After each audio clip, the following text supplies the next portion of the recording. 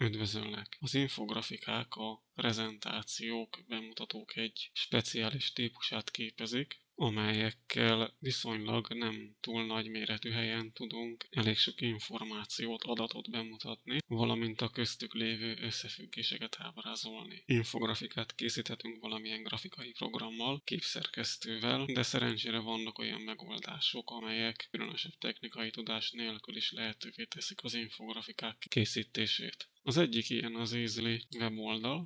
Először is regisztrálni kellene, aztán, hogyha ez megvolt, akkor be kell jelentkezni. Én ezt már megtettem, és akkor bejelentkezés után ez így néz neki. Ha itt lejjebb tekerünk, akkor itt kapunk egy csomó mások által készített infografikát, amelyeket persze mi tudunk szerkeszteni, tehát a szövegeket például át tudjuk bennük írni, vagy éppen a képeket, ikonokat ki tudjuk bennük cserélni. Tehát tulajdonképpen át tudjuk alakítani a nekünk megfelelőre, anélkül, hogy nulláról kéne kezdeni. De most akkor talán nézzük meg azt, hogyha egy teljesen üressel indulunk, tehát erre kéne kattintani, és akkor itt kapunk egy kis magyarázatot, hogy mi hogyan működne. Itt a templates-ben találunk már kész sablonokat, hát igen, csak ennyit. Van ennek egy pró változata, amire, hogyha előfizetünk, akkor még több sablon tudunk használni. De igazából szerintem ki lehet ezt azért apró változat nélkül is alakítgatni, vagy hát éppen másét is használatba tudjuk venni. Ezek egyébként már önmagukban is felhasználható elemek, de nyilván ezekre nem feltétlenül van szükségünk.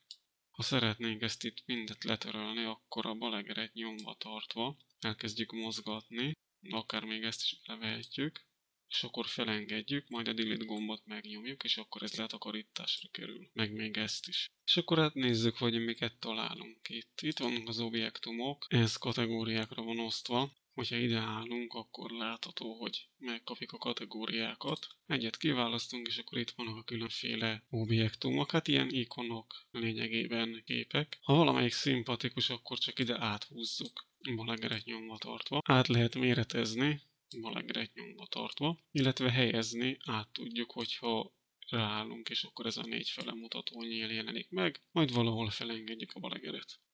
Persze ilyenből akármennyit ide áthúzkodhatunk, és akkor ezeket használatba vehetjük. Valamelyik nem kell, rákattintunk delete. Tehát ezek az objektumok. Látható, itt is van Pro változat, illetve az abban elérhető objektumok. Aztán van itt a média. Ha itt rákeresünk valamire, angolul célszerű persze, akkor itt különféle képeket fel tudunk használni, vagy pedig itt a kategóriából választhatunk egyet. Persze ezt ki is törölhetjük a keresést, és akkor utána úgy kattintva a keresésre, azért egyéb találatot is kaphatunk. Kiválasztjuk, és akkor select. Ide került, hát tulajdonképpen az átméretezés mindegyiknél teljesen ugyanaz, erre nem is térnék ki minden egyes elemnél. Ennél fogva hogyha balegeret nyomva tartjuk, akkor el lehet forgatni. Például így. Szóval itt képeket tudunk használatba venni. Aztán a következő az a háttér, itt be tudjuk állítani a tájolást, de igazából a méretét ennek itt ezt lehet módosítani. Ezáltal persze a tájolás is változik, hogyha változtatjuk ezt kitőlem. Hát a hátterek, van a szín, az úgy gondolom eléggé egyértelmű, egy színűre állítja be ezt a hátteret. Amíg betölt, addig látható, hogy itt is vannak egyéb hátterek, ezek ilyen mintás hátterek különböző színben. Időnként egy picit sokáig tart, még itt frissíti a hátteret, vagy egyéb dolgokat, és akkor látható megjelent ezzel a színnel, de hogy ide kattintunk, akkor ezek közül válogathatunk. Itt is van ez a nyíl, hogyha erre kattintunk, akkor betölti a többi hátteret, és itt is elérhető a Pro verzió. Rajzolás, hát ez eléggé egyértelmű, valamelyiket kattintással kiválasztjuk, és akkor a balegeret nyomva tartva látható például egy vonalat tudunk rajzolni. De látható van itt nyíl, hát ezek ugyanúgy működnek tulajdonképpen. Ez így használható. Alakzatok, hát itt egy csomóféle alakzatot találhatunk. Ide áthúzzuk, kattintással ki lehet választani, be lehet állítani a színét, be lehet állítani az átlátszóságát is. Méretét lehet módosítani, ugyanúgy el lehet forgatni. Erről azt kell tudni, hogy most ráhúzok ide még egyet, és látható, hogy most ez alá került. Ha erre kattintunk, akkor itt a pozíció, nyomunk egyet, hogy felfele, akkor feljebb kerül. Tehát ezek az alakzatok úgymond rétegszerűen helyezkednek el, olyan, mint hogy a papírokat tennénk egymásra. De az átlátszósággal megoldható, hogy egy bizonyos mértékben átlátszó legyen az alatta lévő. Persze lejjebb is tehetjük, vagy éppen a leghetejére, vagy a legaljára. Illetve lehet klónozni is, ilyenkor még egy példány keletkezik ebből. Következő szöveg. Hát ebből van különböző féle címsor, fejléc, aztán ez a body, ez egy ilyen hosszabb szövegnek van tulajdonképpen, szövegtörzs. Aztán vannak a különféle listák.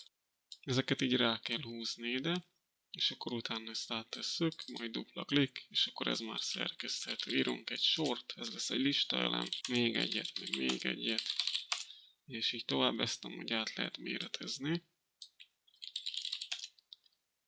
És akkor ez így ennyi mellé kattintunk, akkor itt van a lista. De hát listákból van ez a két másik fajta is, ezeket is meg lehet nézni, ezek pedig így néznek ki. De a szövegszín az itt is beállítható, illetve az igazítás is, aztán a betűtípus, aztán a betűméret, félkövér. Persze ezek a szimpla szövegeknél is elérhetőek,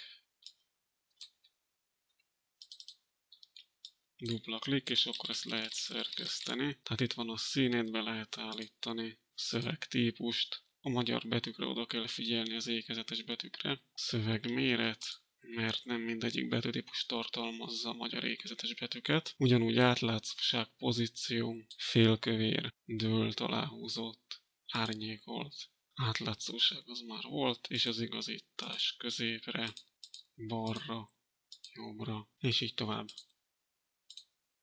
Aztán a következő grafikonok. Hát igazából nincs túl sokféle, de igazából úgy gondolom azért a legnépszerűbbek, a legtöbbet használtak, azok itt vannak, ugyanúgy rá kell húzni, dupla klik, belekattintunk, és akkor beírunk egy értéket, majd átkattintunk egy másikba. Azt is megadjuk. hogy ide kattintunk, és kattintunk erre, akkor ezzel egy sort ki tudunk törölni.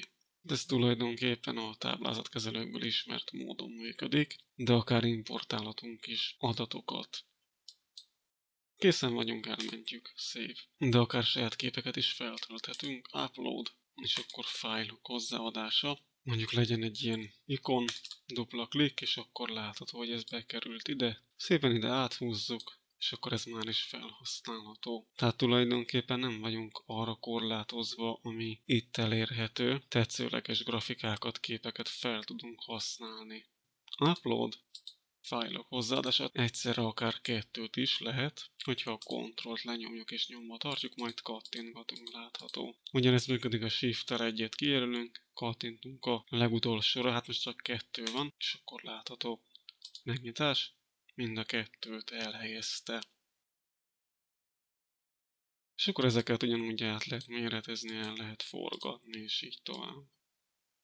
Hát ez tulajdonképpen így működne. Itt a downloadban van az alacsonyabb minőségű, magasabb, meg a PDF. Magasabb minőség, és akkor nézzük. Rendben készen is van. Itt van JPG képként letöltődött. És hát ez így néz neki.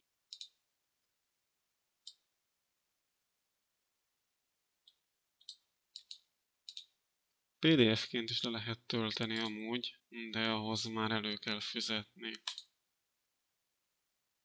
viszont csak 3 dollár havonta, ezért cserébe kapunk 680 ezer darab ikont, sablont, 300 ezer fényképet, betűtípust, és még PDF-ként is letölthetjük. Tehát úgy gondolom, hogy aki ezt rendszeresen használja, annak 3 dollár bőven megér havonta. Illetve el is lehet ezt menteni. Save, adjunk neki egy nevet, első, és akkor save. És visszamegyünk, home, leave, és akkor már is itt van. Hogy erre kattintunk, akkor ezt lehet utána szerkeszteni. Vagy akár egy újat is létrehozhatnánk persze. Ide kattintva, vagy pedig kiválasztva egy már meglévőt, amit más készített. Ezt törölni is lehet, ha ráállunk, akkor megjelenik ez az X, kattintunk rá, és akkor megkérdez, hogy szeretnénk-e törölni, igen. Hát ez tulajdonképpen ilyen módon használható, úgy igazából nem bonyolult, úgy gondolom elég könnyen használható.